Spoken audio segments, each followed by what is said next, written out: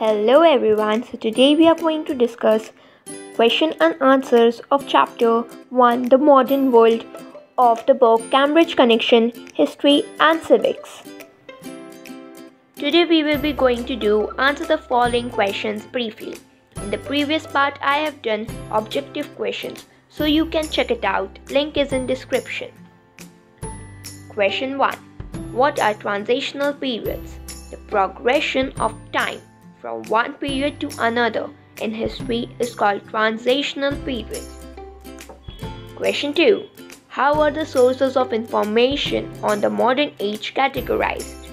The sources of information on modern age is categorized as primary and secondary sources. Question 3. Define the term Renaissance. Renaissance is a French word meaning rebirth.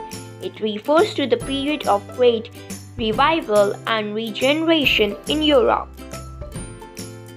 Question 4. How did the fall of Constantinople fuel the Renaissance? Constantinople was the center of learning of the Roman Empire. With the fall of Constantinople, many Greek scholars fell to different cities and the idea of Renaissance spread across Europe. Question 5th. Why did people of Europe undertake voyages of discovery?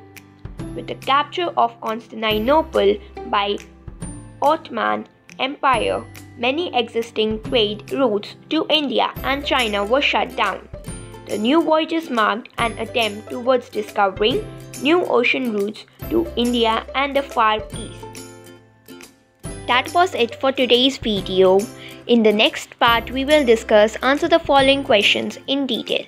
Till then, do subscribe to my channel for more interesting content. Thank you.